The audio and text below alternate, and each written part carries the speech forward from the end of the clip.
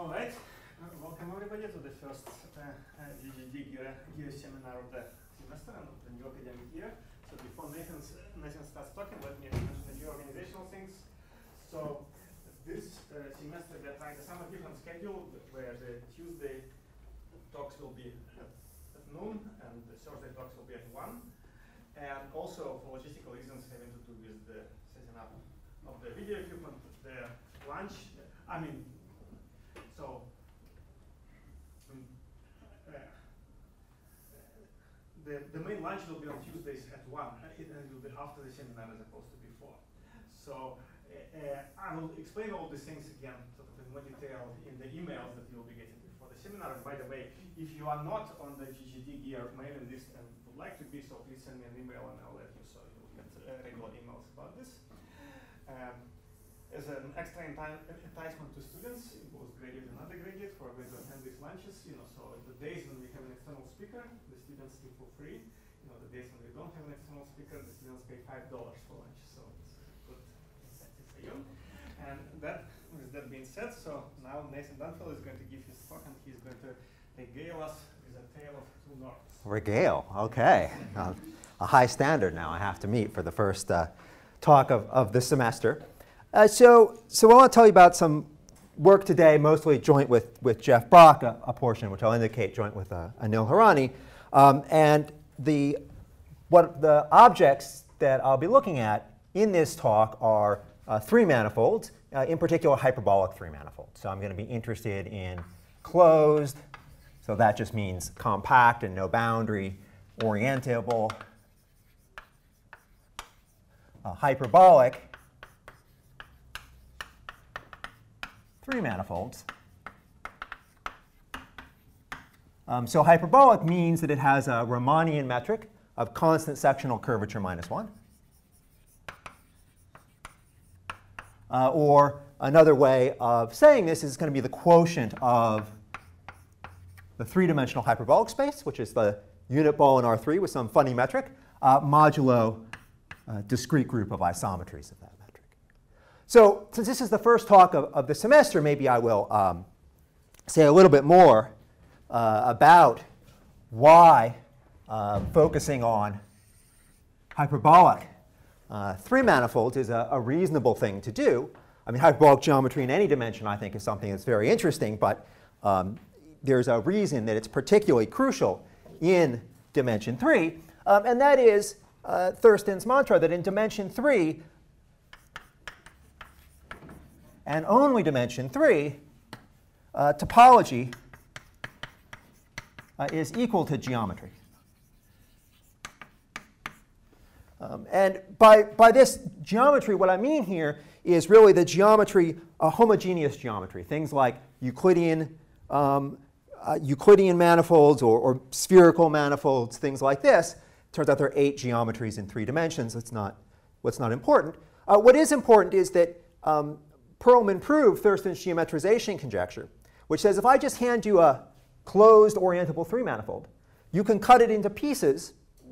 How this works is not, not important for this talk, but you can cut it into pieces, each of which emits a geometric structure, something like a metric of constant curvature or some kind of closely related item. Um, and so this is a very powerful structure theorem. If you are, are uh, maybe this is where I personally came from, interested solely in the topology of, of three manifolds, you can use the existence of these special, very homogeneous, very nice metrics to try to study the topology. And much of what we know about three manifolds, why, for example, the fundamental groups are so special, a lot of that comes from the existence of these geometries. But it's not just that, the, that you have the geometry. Um, there are, as I said, eight of these geometries, and the most common of which is the hyperbolic geometry constant curvature minus 1. Um, and this is both the most common and the, and the most mysterious. So we do not have um, a complete understanding by any uh, means of sort of, of hyperbolic three manifolds. Manifolds that emit the other seven geometries, those actually are, are, are classified in, in, in a very reasonable sense. Um, so the hyperbolic manifolds are the ones I'm going to focus on because they're the generic and the interesting case. But it's not just that the interesting three manifolds in some sense have these hyperbolic metrics. uh, a theorem of Mostow says that when you're in dimensions more than 2, if you have a hyperbolic metric, then it's unique. Um, so if I write down any topological description of a three-manifold, for example, I take the three sphere and I remove that embedded circle, it's called the figure eight knot, uh, this turns out to be a hyperbolic manifold. It's not compact, but it has finite volume. And what Mostow says is that the volume is that that hyperbolic metric is unique. So the volume of that hyperbolic structure is actually just an invariant of the topology of, of this knot. 2.02988 something something. Uh, and so uh, what this talk explores is an aspect of something that um, is the focus of a lot of, of three-dimensional topology, which is to better understand, I mean, I drew this picture. There is a hyperbolic metric. Um, you can figure out what it is. You can compute things like the volume, but how do various topological features of the manifold relate to geometric features and conversely? Um, and the story I want to tell you today is one, one concrete aspect of that. All right, and so um, the story I want to tell you today is about um, two different notions of complexity of cohomology classes for one of these hyperbolic three manifolds. So let me just, to start, just tell you very briefly uh, what these two things are, but then I'll actually spend the first half of the talk telling you what they are in, in more, more detail. This is just to sort of give you some framework for what I'd like to say. So start off uh, with a cohomology class, one-dimensional cohomology class, or Poincare-dually. We can think about that uh, as a second homology class. And at this stage in my career, in fact, I can't tell these groups apart. Um, and so the, the first way I'd like to talk about the complexity of such a thing is something called the Thurston norm. And so this is going to be something that's purely topological. It'll make sense whether your manifold is hyperbolic or not. Um, I'm just going to focus on roughly what the Thurston norm is. It's the uh, minimal genus. So if you think about things in terms of homology, um, there, we're thinking about a two-dimensional homology class. Because we're in codimension 1, um, that homology class can be represented by a nice embedded surface. Of course, there'll be lots of different surfaces that represent that same class. Um, and I'm going to say the complexity of that class is the topology of the simplest such surface, which represents it. So it's the minimal genus, let's say, um, of uh, the simplest surface. Well, minimal, I guess I already has. Uh, the minimal genus of any surface, uh, which is S dual Poincare dual to that. So something like this relates back to um, very classical questions in topology, like if you have a knot in the three sphere, it's always the boundary of some surface. You can ask what's the simplest, what's the smallest genus surface. So in particular, like this figure eight knot happens to bound a surface of genus one. Okay, so that's the Thurston norm. And again, I'll, I'll say more about it. But that doesn't, I should say, I'll, you should also still feel free to interrupt me uh, at any moment. Um, and the second norm is something called the harmonic norm. So in this case, we'll focus on this thing as an actual cohomology class. And I want to think about it as being represented by some smooth one form on the manifold. Um, and when you prove the Hodge theorem, there's a notion of the an inner product that's introduced on forms, which I'll, I'll describe in, in, detail in a moment. Um, and it gives you a, an inner product on forms, and then you can do something like, say, take the one form representing this of least norm with respect to this sort of L2 inner product. Um, so this is, you're looking at sort of L2 minimal representatives of the cohomology classes um, and then just taking their, their L2 norm. So this is something which is defined, uh, the, this L2 inner product, it involves intimately the metric of the manifold, as I will describe. Um, and so this is the thing that depends very much on the geometry. The preferred representatives, the so-called harmonic representatives, are things which are in the kernel of um, the Laplace operator on forms. So some kind of solutions to some kind of PDE that involves the metric. But uh, okay, so this is, these are two things, one topological, one geometric. Um, and the beautiful theorem of uh, some number theorists, Bergeron, uh, Sengun, uh, and Venkatesh,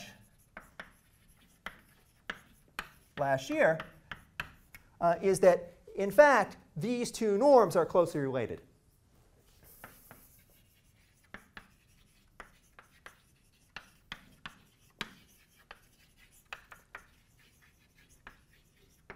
Uh, and the work I want to tell you about today with Jeff Brock is a refinement of their results, um, which uh, show more precisely exactly how uh, these two norms um, are, are, related. So, uh, the questions so far? Um, this is this uh, manifold may not be compact. So no, I'm always thinking of a closed manifold here. Oh, okay, now you're. Oh, I mean, your example. Yeah, the example was not was not compact. Yeah, I mean maybe maybe just that's a good. From now on, we have a convention, uh, which is that all manifolds are closed. Uh, and also, uh, let's make them not just orientable, but oriented. Yeah, the thing is that it's actually harder to draw a picture of a uh, closed hyperbolic manifold than it is of a non-compact but finite volume one. That's why I drew that. But you're right, that doesn't fit into the, quite into the context of which I was speaking. Okay, so um, I think maybe uh, for this audience, I'd like to start off with uh, talking more about the harmonic norm first, because I think that is probably unfamiliar to most people. Some of you work with things like the Thurston norm. So the context is we have our uh, closed hyperbolic three-manifold, or just Riemannian three-manifold. Um, and the harmonic norm comes from an inner product initially not on cohomology classes, but on one forms. So if I take two uh, smooth one forms on my manifold, you define their inner product as the integral over the manifold of, you take alpha, you wedge it with the Hodge star of beta,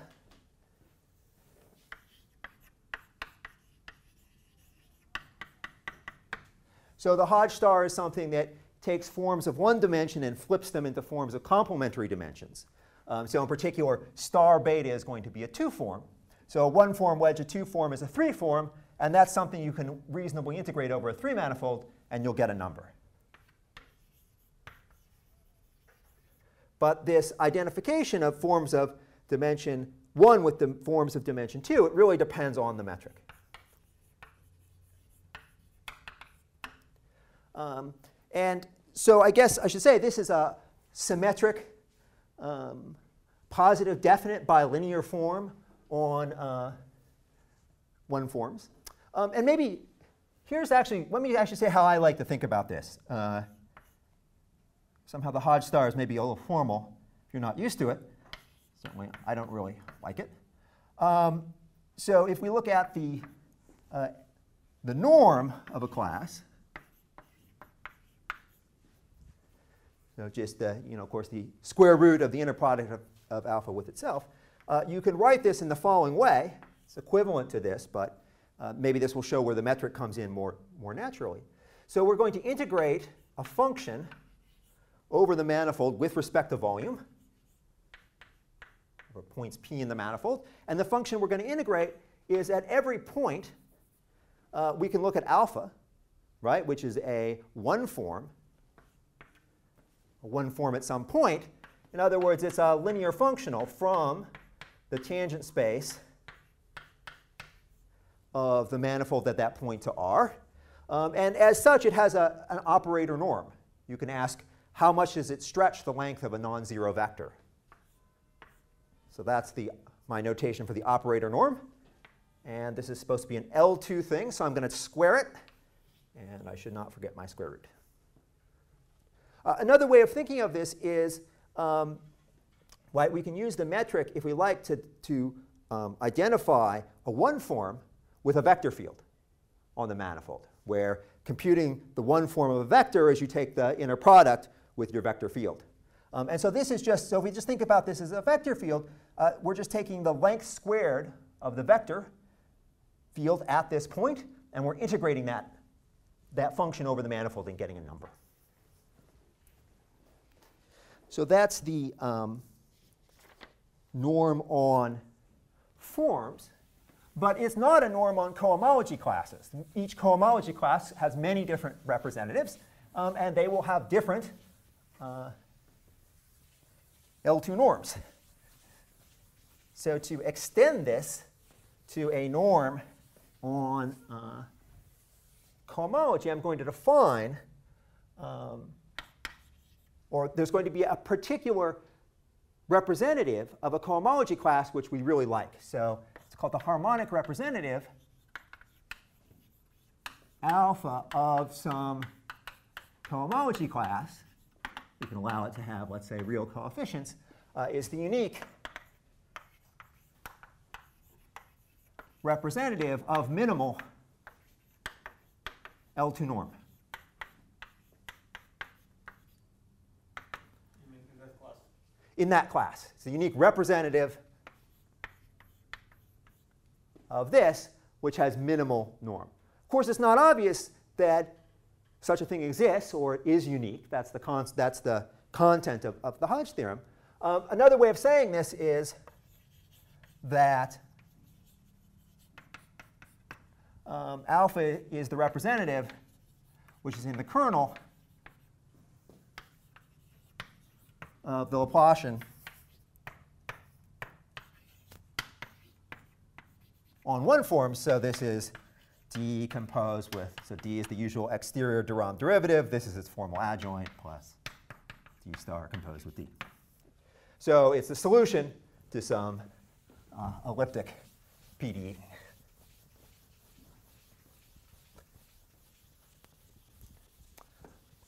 Um, so that's the definition of the harmonic representative. Um, and then from this, we'll just define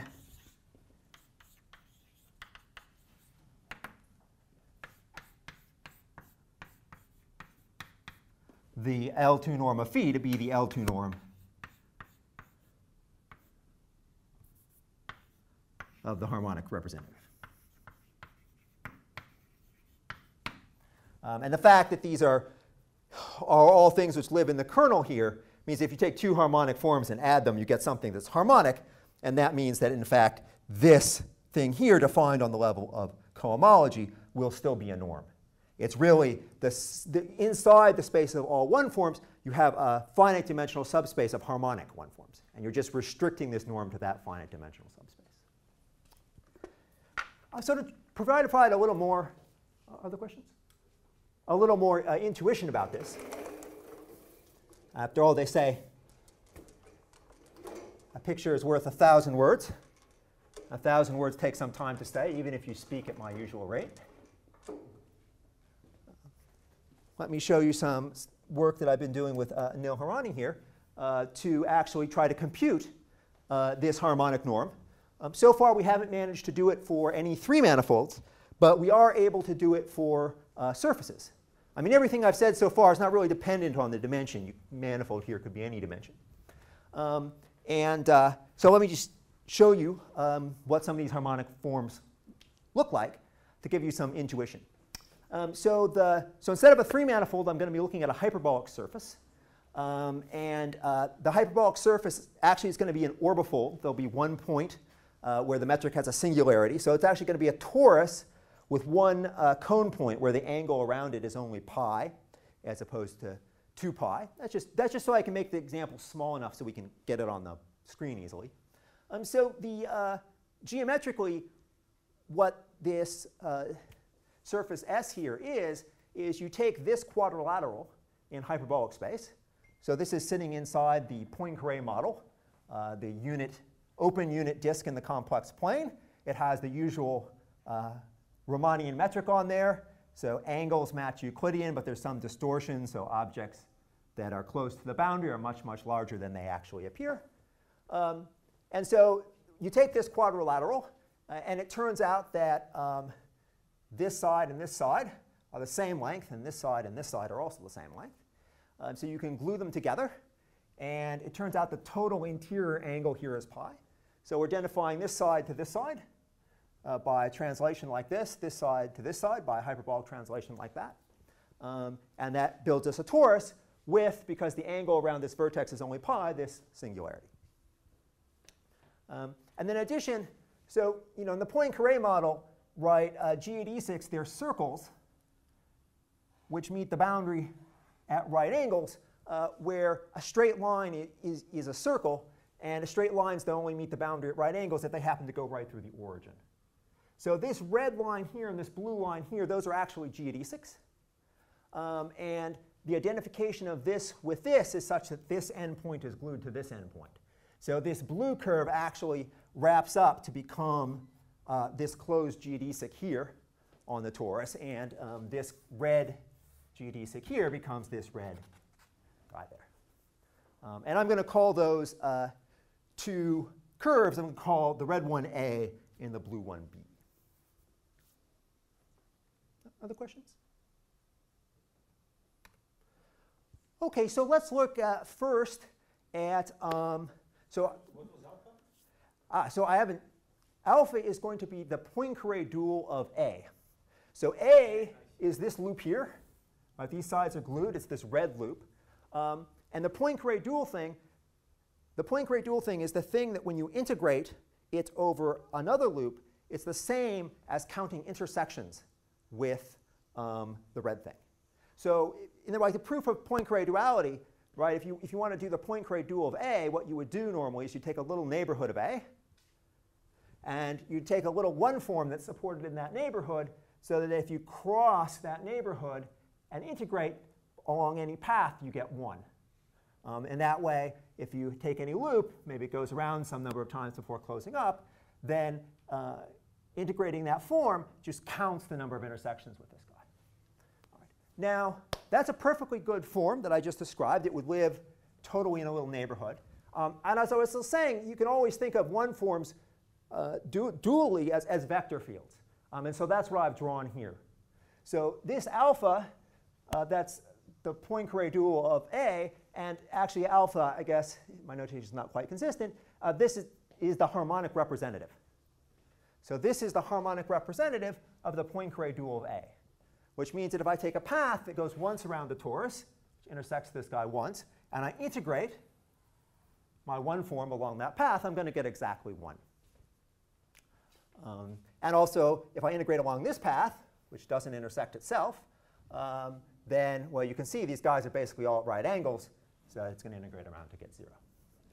Um, but what you've noticed is that instead of being concentrated in a small neighborhood of A, like in the proof of Poincare duality, um, the form spread out. Right? Along like this line here, where it has to integrate to 1, it's roughly the same um, size uh, everywhere. Um, and that's because, I mean, this is maybe, uh, some sense this is, this is why it works. So the point is, the analogous question, somehow, if we wanted to think about just functions on an interval, is to say you represent a particular class, it's like saying you have to integrate to 1 as you go around. That's like you saying, I want a function on the interval whose L1 norm is 1. Right? So, of course, lots of ways I could do that. One of which would be to take just a function whose constant is 1, constant height 1. Another thing I could do is, like in the proof of Poincare duality, I could concentrate um, that fixed amount of area over a much smaller base. Like maybe this is 1 tenth because the vertical height is 10.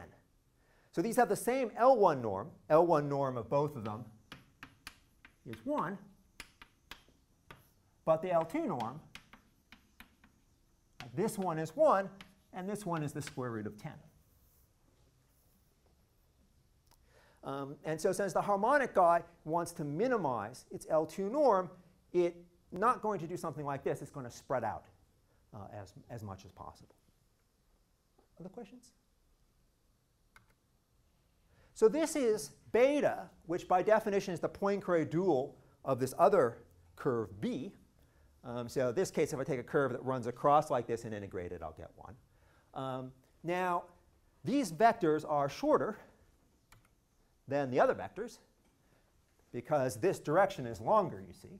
So if you're going to integrate something to get 1, the vectors are going to be shorter. Um, and this also has a, a, slightly different feature than the other one, is that you'll notice that the arrows are actually getting shorter as you move away from this geodesic. And that's because the, the desire of the L2 norm to spread out um, is interacting with a, one of the key things about hyperbolic space, which is in hyperbolic space, as you move away from a point, things expand exponentially. So remember, this metric is distorted. So this thing here, um, it, this, this side here is definitely longer to us than this, but actually in hyperbolic space, it's, notice, it's, it's a lot more longer than that. Um, and so if this thing tried to be sort of uniform the whole way, it would have to ha be sort of, there'd be a lot of area here where the vectors were the same length as here. And that, the fact there's more area here than here discourages that. So there is also some sense in which it does try to concentrate near the geodesic that it's dual to. Oh, so then just to compare them, I have one little plot here uh, where you can see uh, the, two got, the two things on the same plot. So here's uh, beta and here's alpha in red. Um, this norm, right, it came from an inner product. Uh, so we can say, well, what's the inner product of alpha and beta? Um, and it turns out to be, I guess, sorry, I didn't even tell you the numbers on the last ones. All right, so turns out that the L2 norm of alpha is this number.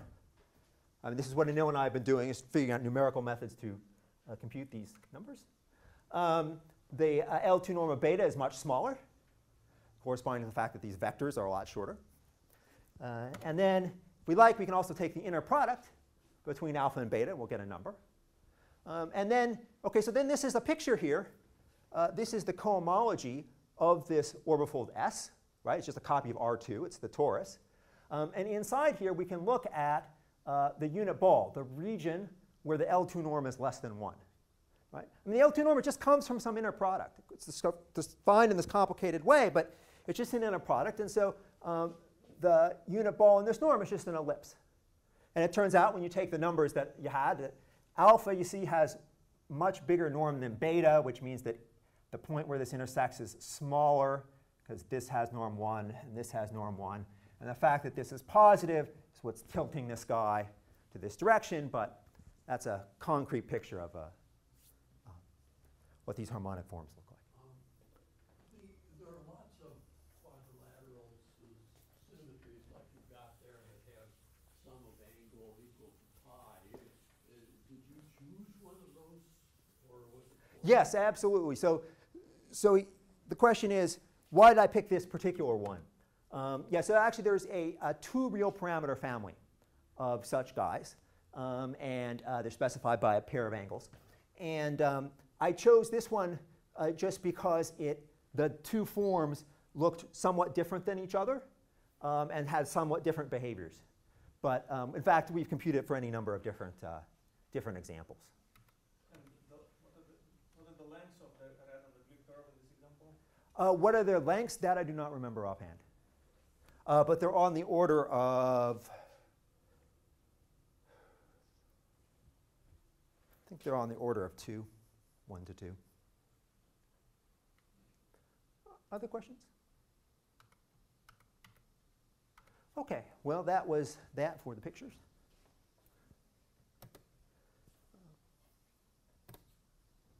So that's uh, the harmonic norm,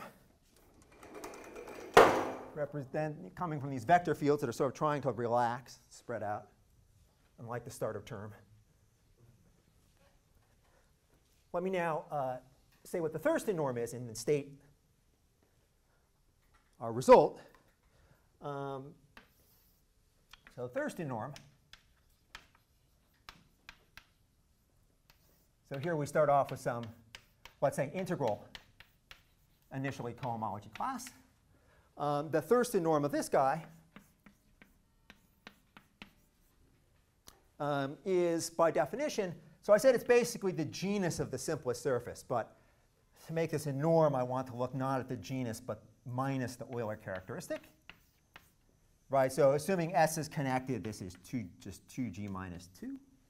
G is the genus. Um, and we're going to take the minimum. Supposed to be the simplest, so we want to minimize 2g minus 2 over all representatives S is dual to uh, the cohomology class phi. And I need to add a little uh, caveat and uh, no component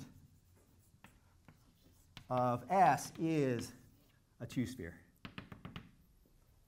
Um, and the reason that's there is if I had some surface uh, which is dual to phi, I could always take inside a little ball, a little S2, and add that to my surface. Since that two-sphere bounds a ball, I haven't changed the homology class. But on the other hand, and I've increased the Euler characteristic by 2, which means I've decreased minus the Euler characteristic by minus 2. So if I didn't exclude these things, then the Thurston norm of every class would be minus infinity. And it was just because you were just adding on these two stupid two spheres. I, mean, I guess I could also say that every component of S uh, is homologically non-trivial. You just don't, you don't want to put like extra stuff you don't need. So that's the definition. Um, and uh, it turns out that uh, simple geometric arguments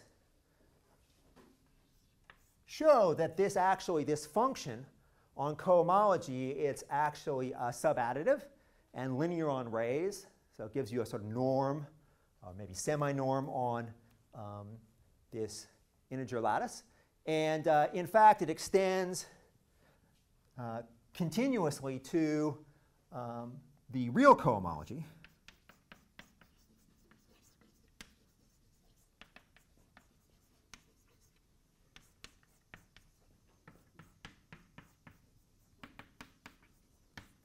Um, and uh, the unit ball in this norm uh, turns out to be a finite-sided convex polytope.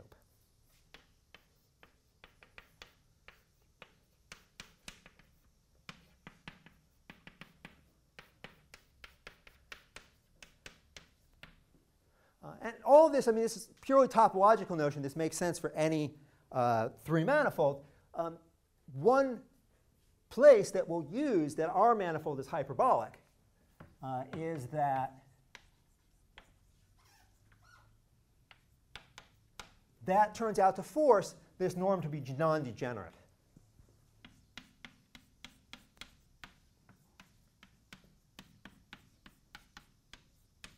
So for any non-zero class, um, the Thurston norm is positive. That's because in a hyperbolic manifold, there are essentially the only way you can have your norm be zero is if your cohomology class is represented by a torus. Um, and there are no interesting tori uh, in a hyperbolic manifold for the same reason that a word hyperbolic group contains no z plus z's. Okay, so um, it extends to this nice norm. It's rational polytope. I mean, you have to prove all these things, but really, it's really not that hard in the end. Um, so then the picture we have motivate the results.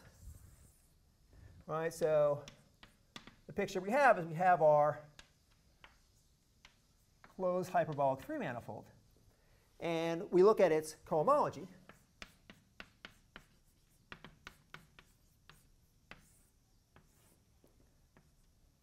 And we have these two norms on the cohomology. On the one hand, we have the uh, Thurston norm. Um, so the unit ball in the Thurston norm is just going to be some uh, polygon, symmetric polygon with rational vertices. Maybe it's this hexagon.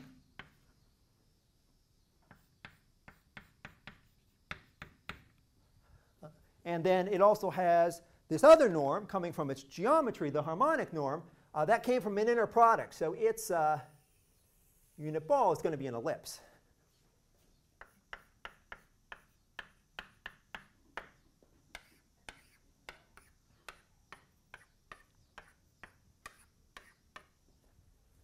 And let me reiterate that while this thing is defined in terms of the metric, Mostow rigidity says that hyperbolic metric is unique.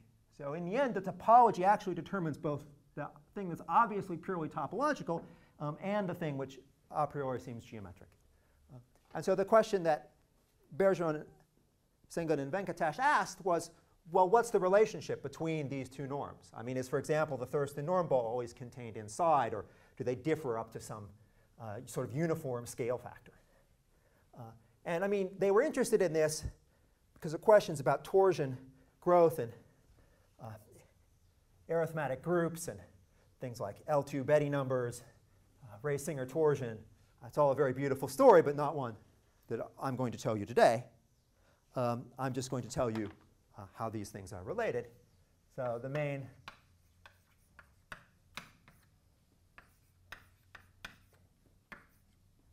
result that Jeff and I have generalizing their work is that for all uh, closed hyperbolic three manifolds, one has the following relationship between these norms. So the harmonic norm is bounded from below by the Thurston norm times a constant uh, which depends on the geometry of the manifold. So a universal constant of pi, and then you divide by the square root of the volume of M. Um, and similarly, it's bounded above by some constant times the Thurston norm, where again, um, this uh, constant depends on the geometry of the manifold, not its volume, but its injectivity radius. Let's say one has on, where here I tell you what the injectivity radius is. Um, the injectivity radius, maybe the simplest way of saying it is it's uh, half the length of the shortest closed geodesic.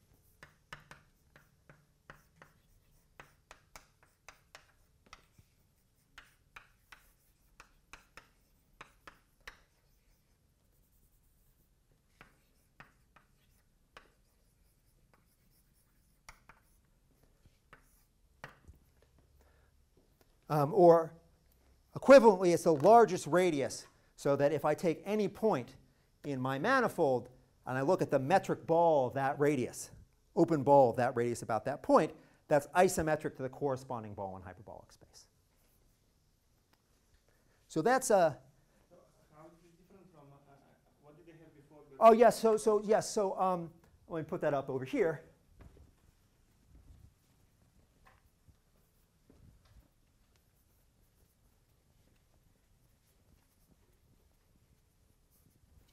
So their result um, was that uh, there exist constants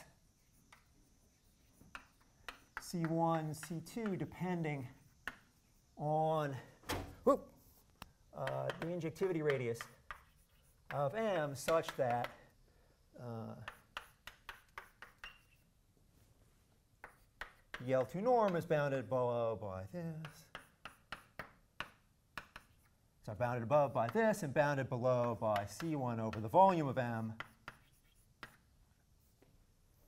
Um, so the, the improvements are that uh, this factor here is not the volume, but it's the square root of the volume, and that the constants are uh, not just implicit functions of the injectivity radius, they're explicit functions, and the constants themselves are explicit. But I mean, this is really the fundamental contribution. We're just refining it.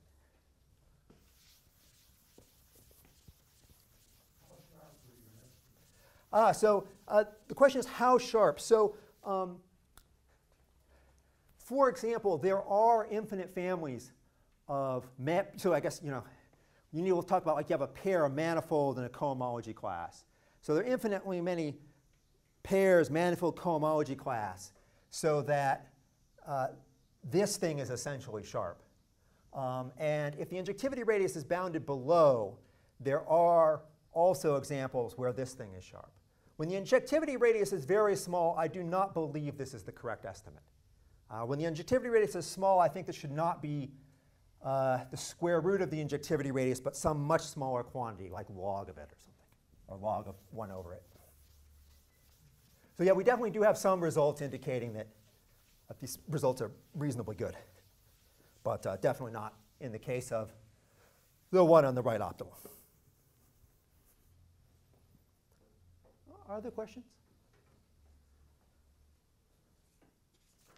How should I think of the relationship between the volume and the injectivity radius? Should they be completely independent each? You should think of them. You should think of them. Uh, you could think of them as being uh, uh, independent of one another. So, uh, the, right, the, the injectivity radius is the size of the length of the shortest geodesic. So, if I draw a picture in two dimensions, like in this picture, the injectivity radius is controlled by this um, curve here because it's the shortest curve, and you know this piece here could be as big a volume you want or uh, as small. Um, at the high end, there is an implicit, there is a the only relationship in general between the injectivity radius and the volume is that um, if your injectivity radius is at least you know, is some particular number, then about every point you get this nice embedded ball of radius, uh, injectivity radius of m. So in particular, that implies that the volume of your manifold is at least the volume of that ball. Um, and that does give you a relationship but since the volume of balls in hyperbolic space grows exponentially in the radius, the relationship you get is that uh, the injectivity radius of the manifold is bounded above by some constant times the logarithm of the volume. Um, and if you were to do something like take towers of covers and try to unwind congruence covers, things like this, then you can actually make this type of relationship with some constant. But yeah, in general, you should think of these as being kind of independent of one another. Other questions? Okay, so in the uh, last 10 minutes, um, what I'd like to do is just give you uh, one idea that's behind um, this inequality here. And that is, uh, and to do that, I'm going to actually introduce, uh, maybe I'll just erase this, uh, one more norm maybe two more norms, depending on your point of view. Your extra bonus norms are coming to the first seminar of the semester. Um, and that is, so the Thurston norm, right, was defined by looking at the topologically simplest surface in a particular homology class. But instead, we could look at the geometrically simplest surface. Um, and, well, what's the geometric complexity of a surface? It's just, it's just its area right? So we could say, okay, so given some integral cohomology class, let me define the least area norm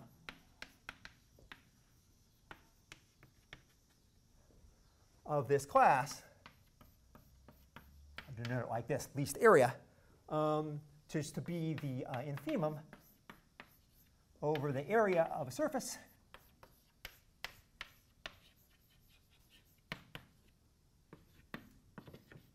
which is dual to that class. Uh, now, it turns out uh, by results in geometric measure theory that this is actually uh, an equal, this, this infimum is actually achieved.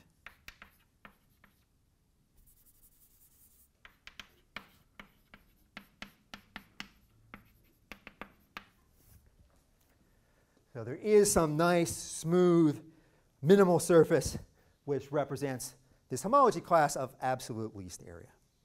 Um, it turns out, though, this, this norm, uh, you can actually think of it in, in another way. So this sort of is in, analogy to the Thurston norm, right? except we're minimizing areas as opposed to genus. Um, you could also, in analogy to looking at the L2 norm and talking about harmonic forms, you could sort of you could define what I'll call the L1 norm of a cohomology class, which is just going to be the infimum of the L1 norm. Alpha is just some form representing this, where, oh, uh, what's the L1 norm of a form? Well, it's just the integral over the manifold of the norm of the form at each point integrated with respect to volume. When we're talking about the L2 norm, I was integrating the square of this, and then, of course, I was taking the square root. So that's a perfectly reasonable definition. Um, whereas this thing is actually achieved, uh, this thing here is not typically achieved. Um, the, at least, I mean, I think you could make it if you're willing to work with some kind of distributional. But Um, you're saying that the two yeah, there's tildes. This is a lemma. That comes out of something called the co-area formula uh, in geometric measure theory. It's not hard. So we now have this new norm which exhibits uh, behaviors analogous to, on the one hand, the Thurston norm, except now it's geometric, um, and on the other hand, the L2 norm, except you're just using a different norm on forms. Uh, and turns out, though, that it's actually a lot closer to the Thurston norm uh, than it is to the harmonic norm. So in particular, it turns out not to be very hard to show uh, that for all hyperbolic manifolds, you have that the uh, least area norm is bounded above by 2 pi times the Euler characteristic, sorry, 2 pi times the Thurston norm, uh, and bounded below by uh, pi times the Thurston norm. So up to this factor of 2, uh, the least area norm is just a rescaled version of the Thurston norm. Um, this comes about because, uh, see, the point is, you have this minimal surface representing your homology class, the, the thing that realizes the least area surface.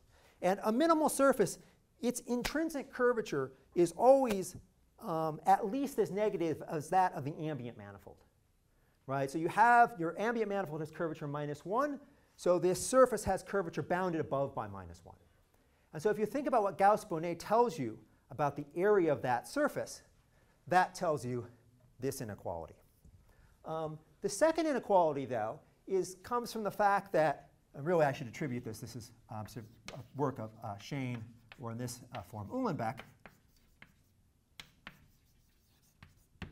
Um, our minimal surface, because it represents a homology class, it's not an arbitrary minimal surface, but it's actually stable. So minimal just means that you're uh, a critical point of the area function. But this thing, because it's the least area, it's actually a global minimum. Um, and that turns out to me, allow you to, that what Schoen shows is that means there's a uniform lower bound on the curvature of this surface as well. So there's an upper bound, because any minimal surface does, but there's also a lower bound that comes from the stability. Um, and then Uhlenbeck translates that uh, into um, a bound on the area. So that's uh, a lemma. Um, and then to conclude, let me just sketch the proof of the inequality that I circled, assuming, of course, all these various lemmas and claims. So, um, okay, so let's uh, take, we have some cohomology class uh, phi. So let's take alpha, alpha be the harmonic representative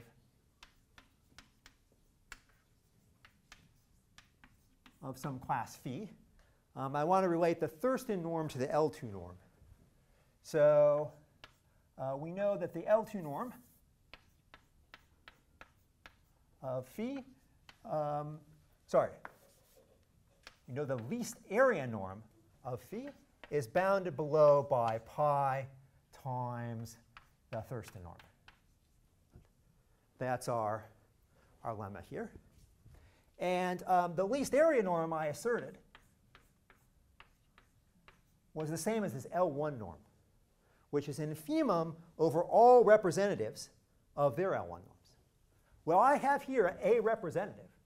That's not going to be the minimal one. In fact, the minimal one, there usually is not a minimal one, but it is a representative. So I'm entitled to say, hey, that's bounded above by, by this. Um, and so, I mean, what is, again, what is the L1 norm? Just the integral over the manifold of the pointwise norm of alpha. Integrate with respect to volume. Course, I could write this as the integral of the pointwise norm times the constant function 1. Um, and so now this looks like I'm taking an inner product the L2 inner product of this function and this function. So by Cauchy-Schwarz, this is going to be less than the L2 norm of both of these guys. Uh, this is, by definition, this is the L2 norm of phi.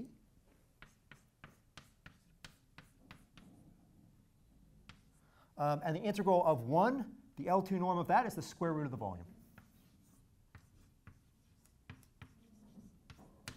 Um, so if you divide this over to the other side, you get the Rend inequality. So the, the moral, and I will stop, is that to, in, to mediate between the Thurston norm in the end is sort of fundamentally an L1 thing. I think that's the, what you should think, especially if you think about how it's related to the Gromov norm. This is an L2 thing. Um, so anyway, what you do is you introduce this third norm, um, which sort of mediates between these two things. And once you have that in place, uh, that inequality is just Cauchy-Schwarz. So, uh, I'll stop there. Thank you for your attention.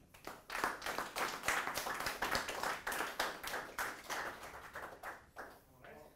Other Once questions? again, back to the sharpness question. Yes. You, you quanti, it didn't quantify all, all over all hyperbolic things when you, when you described that situation. You said, well, for, for certain classes it's good.